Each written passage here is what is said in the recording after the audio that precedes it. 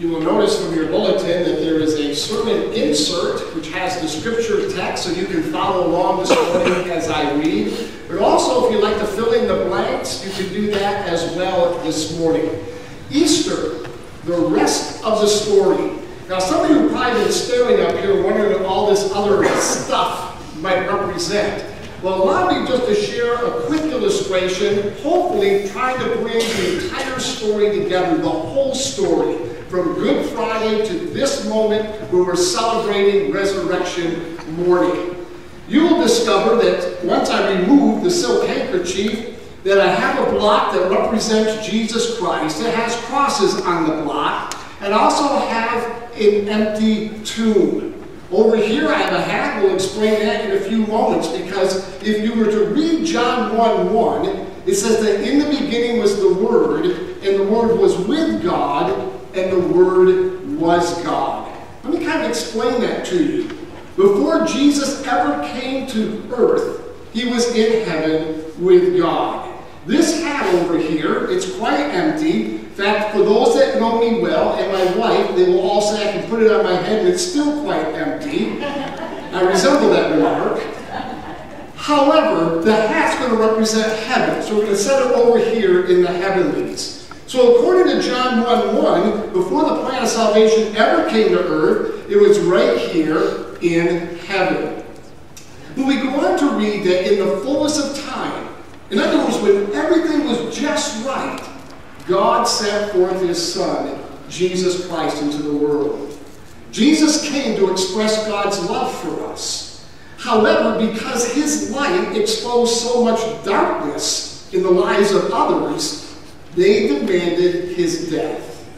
And we know that, and we just celebrated Good Friday through religious rulers, Pilate, and the Roman government they sentenced Christ to be crucified. Upon a cross, he died, giving himself for you and for me.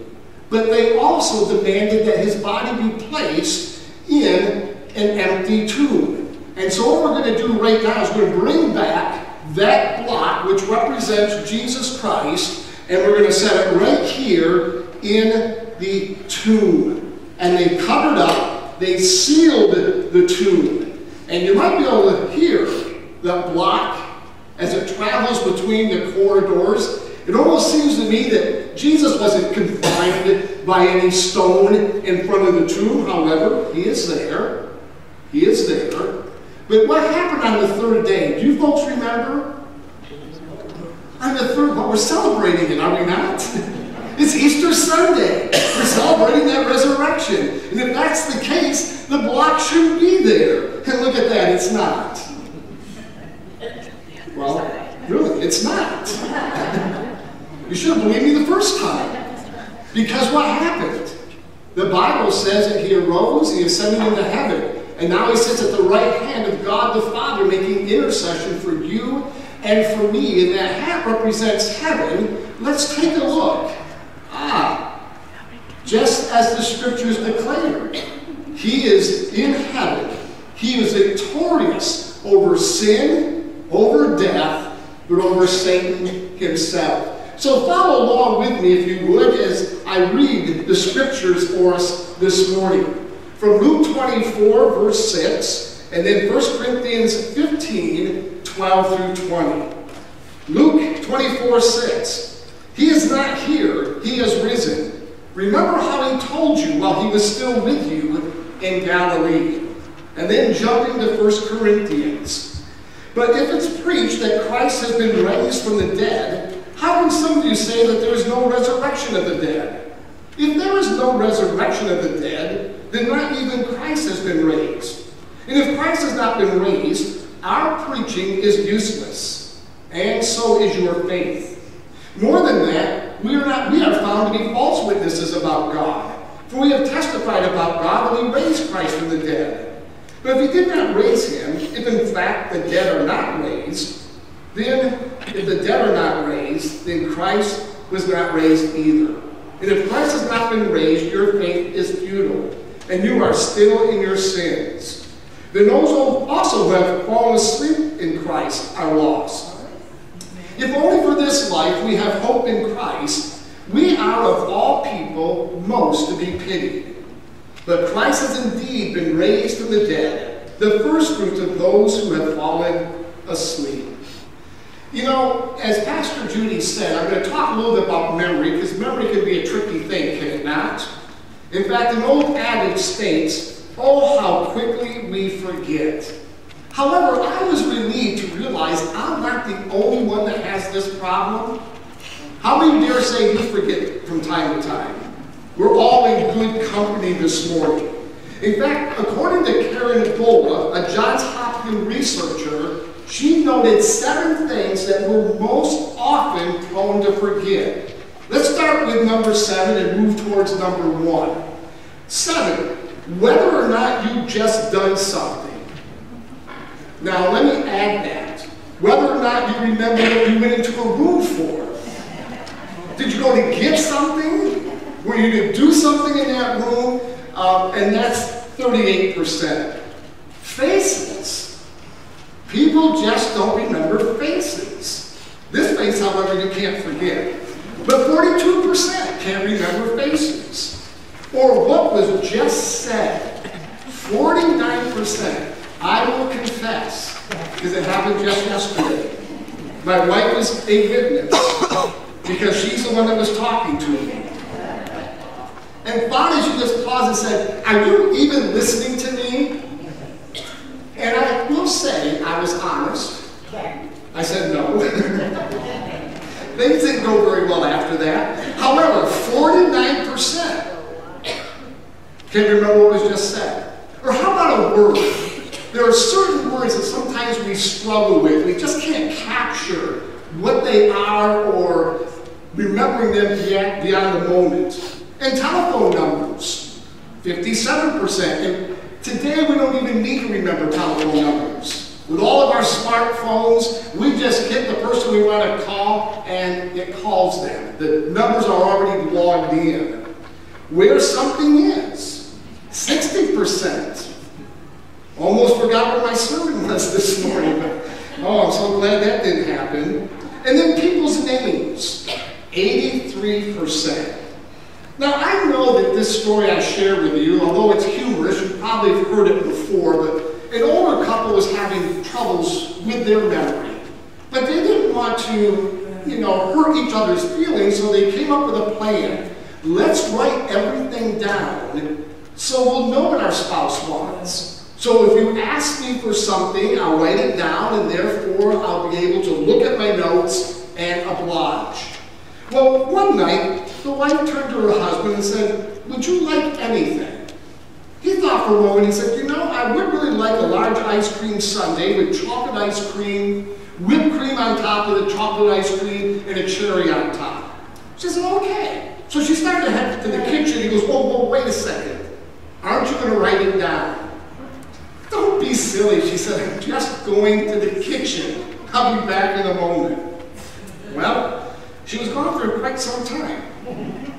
When she finally returned, she set out a large plate in front of him with hash browns, eggs, bacon, and a glass of orange juice. And he looked at her and said, I knew it. I knew you would forget. Where's the toast? well, Memory problems are nothing new. Listen carefully to what the scriptures have to say from Luke 24, 6. He is not here, he has risen. Then notice the next word. Remember. Don't you remember how he told you while he was still in Galilee? The angels are saying, don't you get it? He was telling you the story all along. He was relaying what was about to happen. Don't you remember? Well, this morning I pray that the message will help you remember the best part of what took place on a horrible Friday. The rest of the story, as Paul Harvey would say. You know, it was June 18, 1815. It was the Battle of Waterloo. The French were under the command of Napoleon. And they were fighting against the British, the Dutch, the Germans, all under the command of General Wellington. Now, the people of England depended on a system of signals to find out how the war was progressing, to find out exactly what was going on. And one of those signals was on the tower of the Winchester Cathedral. Late in the day, the signal came across, and it read, Wellington defeated. And right at that time, fog swept over the city. They couldn't read the full message, but already their hearts were broken. They lost the war. Through the city, gloom had already taken place. Across the countryside, they were hearing the message Wellington defeated. But after a while, the fog lifted. And they realized that they didn't see the whole message. The message had four words, not two. The complete message was Wellington defeated the enemy. And with that, hearts began to rejoice. New news was spread through the city and along the countryside. Sorrow was turned into joy. Defeat was turned into victory. Why do I share this story? Because when Jesus was buried in the tomb, hope had died. It died among some of the followers, but it died even in the hearts of his most faithful disciples. After that frightful crucifixion, and you know, you and I cannot even begin to imagine what might have happened on that Friday when he was crucified. But there was the fog of disappointment that settled in, the fog of misunderstanding, and it crept over all of those that had a relationship with Jesus Christ. You see, they could only read part of the message Christ defeated. That's all they knew. But on the third day, the very day you and I are celebrating this moment, the fog had lifted and the world received the complete message Christ defeated death. Sorrow has been turned into joy, death has turned into life.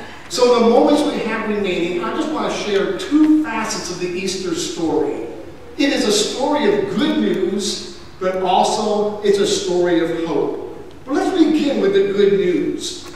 You know, one of the differences between Christianity and every other religion that is out there is that our founder is alive. And not only is our founder alive, he's doing quite well. Whereas their founders are all dead. At the tombs of Muhammad and Confucius and Buddha, and all the others that have appeared on the scene, we will read, Here he lies. But when you go to the tomb of Jesus, the words of the angel ring out in our ears. He is not here, he has risen. From 1 Corinthians 15 14, we read, And if Christ has not been raised, our preaching is useless you know, the word gospel actually means good news. But if you take the resurrection of Jesus Christ out of the gospel, it's not good news. It's not really news at all. It's very sad to the heart. You're left with your brokenness and you're left with your sins. You know, Dwight L. Moody, the great evangelist of the 19th century, assigned a lot of his student ministers a task. They were to go through the streets of Chicago, set up some tent meetings, and preach the gospel of Jesus Christ. It gave them a chance to also preach and learn how to put their sermons together, but also the chance to win folks to Jesus Christ. Moody one night appeared at one of the tent meetings unannounced. And he said that the student did a good job as he preached. The young man expounded well on the cross of Christ and on the sins of the world. But he said at the close of the service, this young man announced, Everyone, you need to come back tomorrow night. Because tomorrow night I'm going to preach on the resurrection of Christ. After the crowd had dispersed, Dwight L. Moody grabbed the young man and he said, Look, you may not be back tomorrow night. You don't know if God's going to give you another 24 hours. And he says a host of those people most definitely will not be back tomorrow night. And consequently have only heard half the gospel. Now, I don't know what you think. Moody might have been a little rough on this young guy, but there is truth in what he says. The cross of Christ is only half the gospel. And half the gospel is not good news. Romans 4.25 says that Christ was delivered over to death for our sins and raised to life for our justification. You need both parts of the story to make it complete, to literally make it the gospel. It's good news in that we can trust Jesus for being exactly who he claims to be. Christ even predicted his resurrection on a number of occasions, and pretty specifically and intimately with his disciples. That's why the angel said, Remember? What's wrong with you? Can't you remember? In fact, in John 2.19, Jesus said, Destroy this temple, and I'll raise it again in three days. And I know that's kind of vague language, but in verse 21, he says the temple he spoke of was his body. He went ahead and identified it.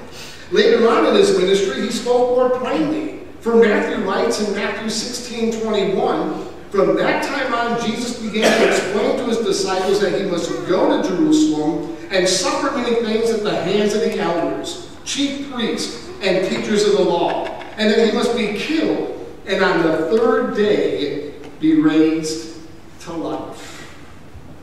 If the resurrection did not happen, we'd have to admit that Jesus lied to us.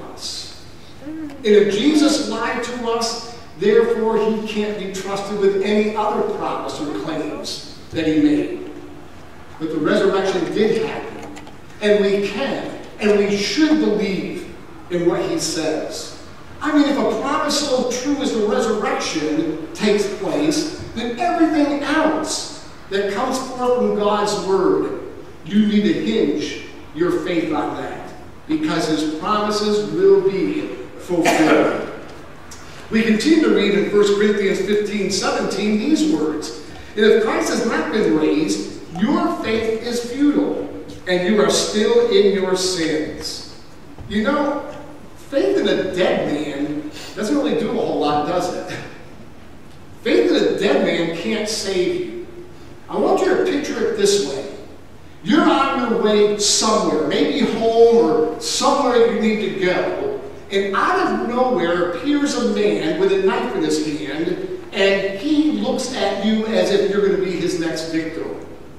Now, if you're like me, I'm going to run as fast as I can, about 100 yards an hour. But I'm going to take off running. I mean, if anybody's coming after me with a knife, you know, my mom didn't raise a dummy, and if she did, it was my sister. I'm going to head down the road. So you're running down the road, and off to the left, you see a cemetery. And off to the right, there is a house with lights on. How many are going to run into the cemetery? Those that raise their hands, I really have a part for you to play in the next horror movie that's coming out. We won't run into the cemetery because dead people can't help us. You can cry all you want to dead people, and nothing's going to happen. You run to the house that has the lights on, hoping it's somebody's home, because living people can offer you help. If Christ did not rise from the dead, he has no power then to save us. It's like running into a cemetery among the dead. Our faith is useless. But if the biblical account is true, which we here this morning believe it is, we can then find help in our time of need. We can find redemption. We can find salvation in the very one who's conquered sin, death, and Satan. So it is good news, my friends, and that's why we're here celebrating. But also, Easter brings hope. 1 Corinthians 15 19, the Apostle Paul says, If only for this life we have hope in Christ, we are to be pitied more than all men. If Christ had not been raised from the dead, why bother go to church? You'd be better off someplace else. Now, don't anybody get up and leave. Don't everybody take that as, oh, okay, I guess the pastor's giving me permission to walk out. I have more to the story to share. Because if Christ had not been raised from the dead, why should I even bother find myself another job. And if Christ had not been raised from the dead, why bother put money in the offering plate? You only give them to a lost cause. And notice how we took the offering before the message? so you even have an option with this one. And if Christ was not raised from the dead, why would you, like, you and I even bother serving him? We're only wasting our time and our energy. If Christ has not been raised, why suffer for him? You're only causing yourself needless pain and misery. If Christ has not been raised, why tell others about him? You might as well just save your breath. And if Christ has not been raised, why sing songs about him? And didn't we sing some powerful songs this morning? I thank Brady, who headed up our praise team today, the songs that were selected in the praise team for leading us in worship. But why would we even bother with all of this if Christ wasn't raised from the dead? You might as well sing songs about the Easter Bunny. Here's how Alan Redpath sums up this passage. And I quote If Christ has not risen, then our faith is empty, our preaching useless, and he has failed to deal with sin at all. If he has not been raised from the tomb, we are still in our sins, and all his promises are absolutely untrue. He is a fraud, an impostor, and the ashes are buried somewhere in Palestine today. There's no hope beyond the grave for anyone. And those who have died professing faith in him are just left there forever. But since Christ has been raised, the opposite's true. We can say, since Jesus Christ is risen, our faith in him has eternal dividends. Our preaching converts. He has gained complete victory over sin. Since he's been raised from the tomb, we are saved from our sins, and all his promises are absolutely true. He is the Lord as he claimed to be, and is exalted in heaven today. There is hope beyond the grave for all who trust in him. And those who have died professing faith in him are rejoicing in heaven now. End of quote. You know, Sigmund Freud, the founder of psychiatry, wrote, and finally there's the painful riddle of death, for which no remedy at all has yet been found, nor probably ever will be. Well, Sigmund, I have news for you. There is a remedy. It's been found. And Christians around the world have discovered it. How do we overcome death? Through a relationship with Jesus Christ, who he himself overcame death. Jesus said, Because I live, you also will live. From John 14, 16. We have put our confidence in the right place, and death no longer has its sting. Every year about this time, thousands of people climb a mountain in the Italian Alps. They passed what's entitled the Stations of the Cross, finding to stand at the crucifix, an outdoor crucifix. One tourist, however, noticed that there was a little trail that led beyond the cross. He walked through the rough thickets and to his surprise came upon another shrine, a shrine that symbolized the empty tomb. It was neglected. The brush had grown up around it. Almost everyone had gone just as far as the cross, but they stopped there. And so many people today are like that. They arrive at the cross. They've known only despair and heartbreak. Far too few have gone beyond the cross to find the real message of Easter. The rest of the story. The message that the tomb is empty and that there is hope for all who put their faith in him. I'm going to ask the praise team if they come to the platform right now. As they're making their way to the platform, Thomas Jefferson has always been known as a great man, one of the signers of the Declaration. However, you may not be aware that Thomas Jefferson just could not reconcile himself to the miracles that were described in Scripture. So he came up with his own Bible. He edited the Word of God, deleting out a lot of passages about the supernatural. He confined himself solely to the moral teachings of Jesus Christ. And when you come to the crucifixion, here's how he ends the Gospels. And I'm quoting There they laid Jesus and rolled a great stone at the mouth of the sepulchre and departed. The end. My friends, you and I know that's not the end. That's not how the story goes. That's not the true account that the Bible shares with us. Easter means good news. Ah, the gospel, the message of Jesus Christ's death and resurrection, great news for all of us in this room. But it also means hope. Guess what?